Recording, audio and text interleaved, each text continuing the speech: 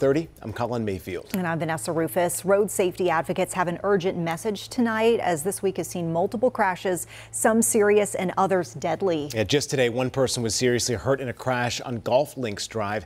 And then a short while later, a major crash on 485 in Northwest Charlotte that killed one person and injured two other people. WCNC Charlotte's Austin Walker found out why some advocates are calling the trends a public health crisis.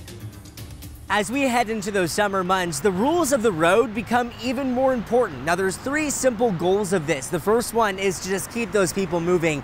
The second one, obviously, have an enjoyable summer. And finally, save as many lives as possible.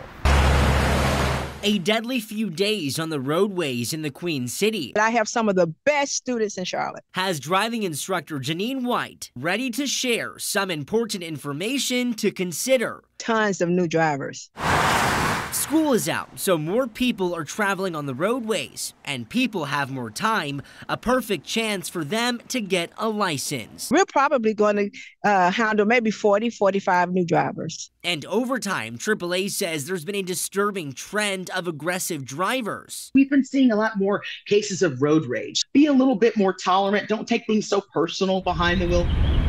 While drivers flood the roads, ideas get the green light inside the state capitol. That is a, a major public health crisis. Mark Ezzell, director of North Carolina Governor Safety Program, says the state is partnering with organizations and departments, providing funding and grants to promote safe driving. In North Carolina, we know that you know, the summer is an especially dangerous time for younger drivers. Uh, nearly half of all the fatal crashes that occur uh, for young drivers are during the months of summer.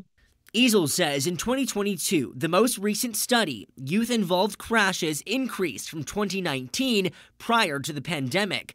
Those statistics are a driving force for White. Um, with extra drivers on the road, that is not a time for you to hot ride, to, to speed, to see if you can beat the traffic light. Hoping scenes like these stay in the rear view.